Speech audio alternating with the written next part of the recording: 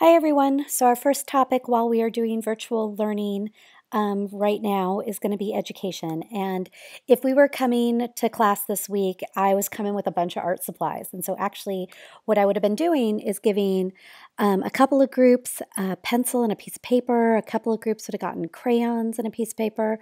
A couple of groups would have gotten some felt and some scissors. And a couple of groups would have gotten some Play-Doh. And I'd ask you to make an apple out of those supplies. And then there's actually a brown paper bag to put your apple back in. And in addition to the art supplies to, you know, make an apple, I actually had family scenarios for your groups to read. And so when everybody's all done with that part, and this usually, this is one of the activities that everybody's doing, and they're like, we don't know why we're doing this. And so I bring you all back together, and then I try to pretend like I'm a kindergarten teacher, and it's atrocious because I'm the worst.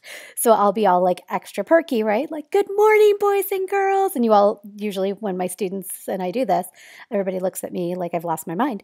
Um, and I talk about, you know, we're learning the letter A and it's for apple. And you had your first big kid homework because this is kindergarten now. And you're these, you know, super cool kindergartners with, you know, all the learning you're going to do. And then I ask like because one student has volunteered from each group one person has a different kind of apple. I ask students to share their apple while i'm role playing like oh my goodness look at what a good job you did.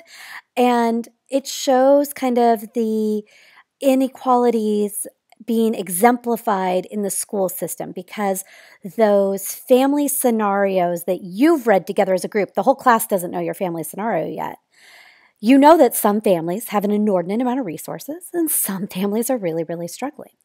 And so the student that just has the pencil and the paper that's actually modeled after um, one of Sean's students uh, over the years who uh, lived in an apartment with several other families. And Sean got a chance to actually bring um, groceries and Christmas gifts home one year, many years ago, to the student. And so it's a real scenario. The groups that have the crayons and the felt, I've made up those scenarios 100%. But the groups that have the Play Doh, right, like really having uh, significant supplies in order to make an apple as kindergarten homework, is kind of based on um, an elementary school that Mac was placed at, um, our daughter, when because of her cerebral palsy, she was enrolled in a public school, but it was um, a preschool class for children with disabilities. And she was placed at a school with an inordinate amount of parental resources, and it really showed. And so the idea is to show the tension between what families have in relation to how that works out in schooling. And I won't go on and on about this, but never is it so true as right now what we're enduring. There's going to be some families that have resources to, you know, lots of learning capabilities, um, like learning opportunities for their students, um, you know, lots of different activities. Like I'm seeing families on social media this weekend talking about all the crafts they're going to do. They're going to have a spot, like all the ways that they're going to entertain their children as we go through this social distancing and quarantining and everything else then there's many, many families that are not going to have the resources to solidify their children's education in the coming weeks. And so, for instance, as I'm recording this right now upstairs, Sean's downstairs trying to put together lessons for the one math class that he teaches on his own. He's also a co teacher with another teacher throughout the day. And his whole concern this entire weekend is number one, students having access, but students even knowing because he's teaching students with moderate to severe disabilities how to even navigate these online portals and modules and learning systems and everything else.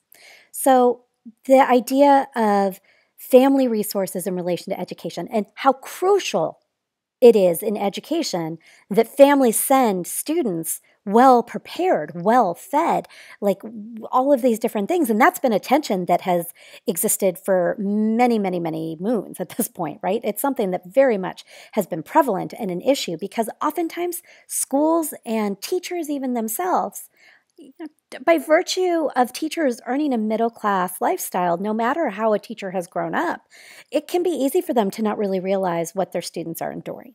And so that's one thing that we focus on in the beginning of class if we were together. But the other thing we focus on, and you took a look at the mission statements, and if you haven't, stop me right now and go look at that PDF, grab a scrap piece of paper, like I said, and just try to match up mission statements to those various um, statistics that I've given you. So read over it quickly, the, the, various statistics I've given you, and then to the best of your ability. And those are real mission statements. And actually, this is an activity I've been doing for years, but I update it a couple, every couple of years. And I just uh, maybe 10 days ago updated it. And so those are the real mission statements right now. But if you haven't done it yet, stop, go look at that PDF, write down your guesses, and then come back to me because I'm going to go through them. But let's talk about mission statements altogether for a quick second. Like, I don't want to be skeptical, but how useful are they? I don't know, right? And my proof of that is Cal State University Long Beach, right? Tell me you know the mission statement right now. Tell me you've ever seen the mission statement, right? And so, you know, these statements are carefully crafted. They are all about, you know, what we want to achieve as a school, who we want to see ourselves as a school, what we who and what we want to serve as a school. Yet they're kind of buried on a website. So here, let me just take a quick second and show you Cal State Long Beach's mission statement. So you can see that there's a lot of great words in here. And on that worksheet, if we had been together, I was going to ask you to kind of go through those mission statements and see what kind of words or phrases that you really think should be in a mission statement. But I, I love so many of the words in here um, diverse, student centered, um, hope, hopefully superior teaching, creative activity. You know that that is a super passion of mine. Um, I think it ends a little dramatically, like for the people of California, and the world. But, you know, I, I, can see a lot of value in this. But again, none of us ever see it. So, something to kind of think about as far as how institutions themselves work. And you have to think in an institutional sense, like family is an institution, education is an institution, and they're institutions that are relying heavily, heavily on each other. So I'm going to just quickly review um, API scores. That's all the standardized tests that you took growing up. Um, they would be made into an API score, and that was like the perceived value of your school. Like a school was judged by its API score. And remember that a perfect score, as I mentioned with the little mission statement thing in the module, is a thousand. So something to keep in mind. But that's changed now, and I'll address that again in a second. Uh, English language learners are when a student's family indicates that English is not the first language spoken in the home. So that's how that designation is created. And then socio- socioeconomically disadvantaged is actually a term that I have not seen used um, prior to checking through and updating everything a couple of weeks ago. Previously, it was usually indicated by showing what percentage of students qualify for free or reduced price meals. And so I'm glad to see that they're articulating this in a more hopefully nuanced way, indicating um, the impact that socioeconomics can have on a student's uh, ability to navigate the institution, right? And again, think about structure and agency, free will, um, the burden of inequality, so on and so forth. Uh, API scores because we've now changed from No Child Left Behind, which is the um, federal mandated learning that you grew up with, that, you know, the test is the test and that's what's important. Um, then we went to Common Core, and so now we have the CAASPP test, which is still actually being developed in a lot of ways. And so I also give you CAASPP uh, scores to kind of look at because they're much, much more current than API scores are extinct at this point. But I think it's an easier way to kind of see um, what schools had going, and especially because of those years that API score was so, so, so important. Okay, so you've got your guesses, and I'm going to go through and talk to you real quickly about what the various schools were and kind of some of the various things that were indicated by the mission statements. Um, the first school is actually, I believe, Santa Ana High School. And so, did you catch that it had um, spelling errors? So, take a look at it because I know it's short. I, I that's directly copied from the website. And so um, I was really, really surprised to see that. Although, please know, I'm sure you're probably thinking to yourself, yeah, well, Professor Griffin, you have like 500 spelling errors in all of your announcements. And if I do, I am so sorry. Please know that I tried not to. But we're all fallible, aren't we? I hope. Maybe you're not. I certainly am. Um, Santa Ana High School, this has changed since the last time I checked. Previously, this used to state, like the last sentence of it was um, that they wanted students to be contributing members of society. And so you can see the API scores, you can see the percentage of students that are being identified as English learners and socioeconomically disadvantaged and the changes um, over the years. Socioeconomically disadvantaged, um, as you can see, that 93% is the current, 20, well, current right now is 2019 because they have not, we're in the middle of the 2020 school year. And then uh, you can see the CAPS not met aspects too. Two is C, and this is Cypress High School, which is actually a high school in Sean School District, which would be in a socioeconomic area of more middle class families. And so, what I think is interesting about this is you can see what the mission statement that you took a look at. I'm going to show you real fast. That's the mission statement they used to have. So, it's like a three page paper. I mean, my goodness gracious.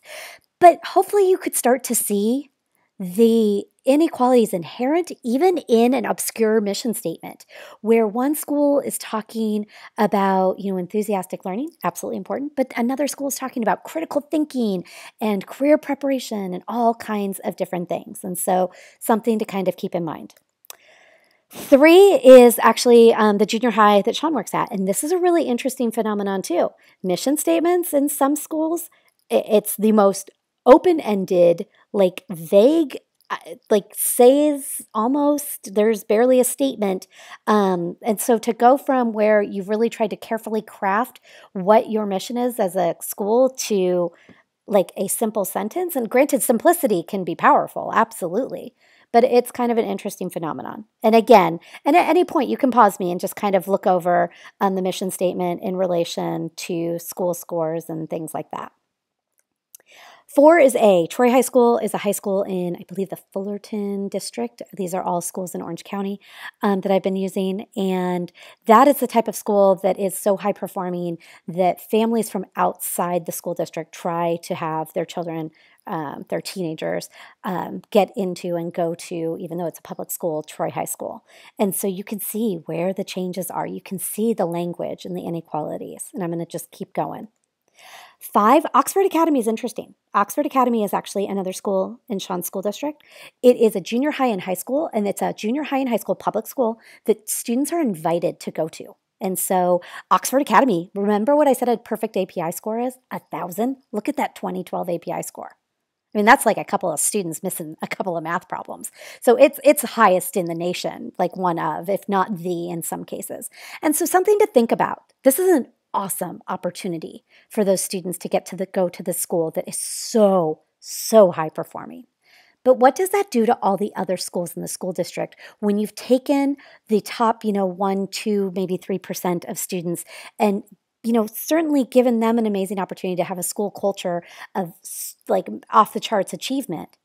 But that's been removed from all the other schools for years now, for years. And so I, am conflicted because I want every student to have, um, you know, an amazing chance, but I also want every school culture to have, you know, seen the possibilities of, you know, the entire world. And so I, I struggle with that in some ways. And then finally, the last one, as you can see, that is actually a um, middle school, so I believe 6th, 7th, and 8th in Santa Ana Unified. And you can go through and see the various aspects of how, you know, certain schools do not have as many community resources as other schools. Oftentimes, when we talk about parents in relation to school, we villainize parents and we act as if they don't care. And that's not the case at all. Every, I mean, Eh, almost, eh, you know, families care about their kids and want the best for their kids. But when we have such inequalities, like we studied a little bit with the game of life and talked about structure and agency, and then you've got families interacting with this institution that is so crucial to all of us so much so that, you know, we're right now making sure that we're fulfilling, you know, the goals that you all have as students to, you know, finish this class and finish your other classes in unforeseen circumstances that we would have never imagined even a month ago. School is incredibly important. And so that tension again between family resources and school is something that I wish we could have had more time to dig into, but I promised you I would keep this under 15 minutes and I am running out of time. So thanks for taking the time to look at the mission statement. Please watch Miss Rita Pierson. She, man, if everybody knew uh, the things she said, I really believe it would change the world. And I can't wait to see your responses in the discussion board.